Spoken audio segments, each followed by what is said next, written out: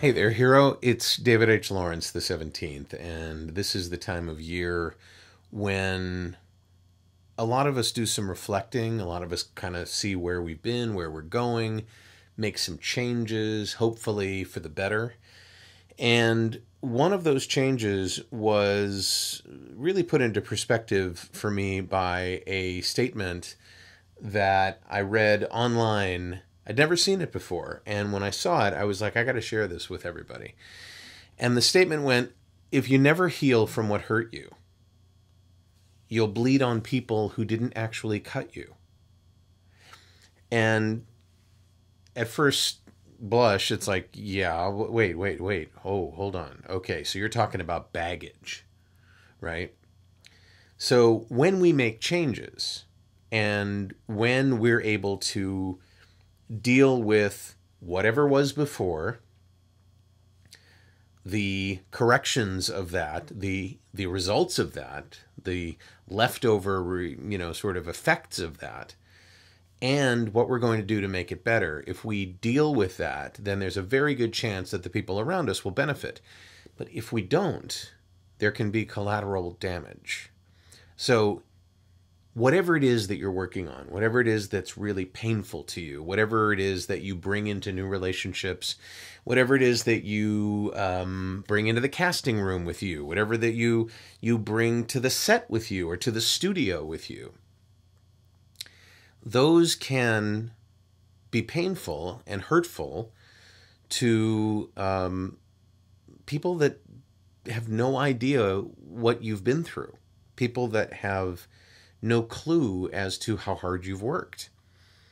And so when you have something that's really important in your life that you want to change, see it all the way through, right? Deal with the pain, deal with the solution if you can find it. If you can't find it, ask for help. Even a good conversation with someone you trust can be so helpful but do be careful that if you don't do that work, if you don't find out what it is that it's going to take to help you completely heal from it, you could inadvertently hurt someone else who had no clue what was coming. You know?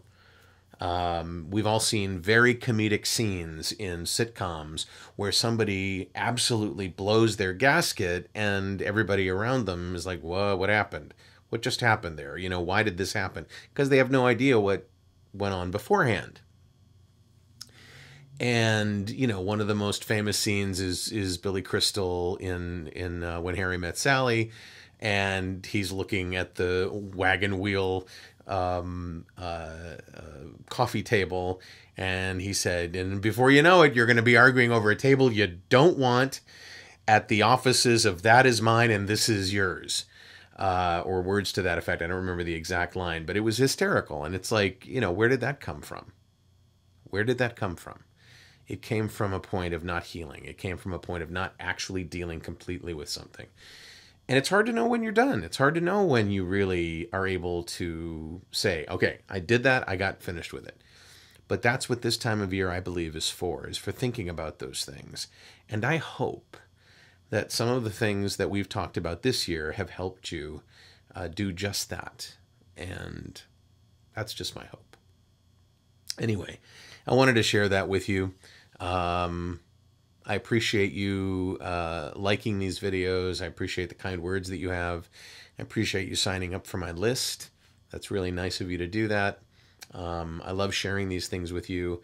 And I thank you so much for your kindnesses. I'm David H. Lawrence, the 17th. I thank you so much for watching this video, and I will talk to you tomorrow.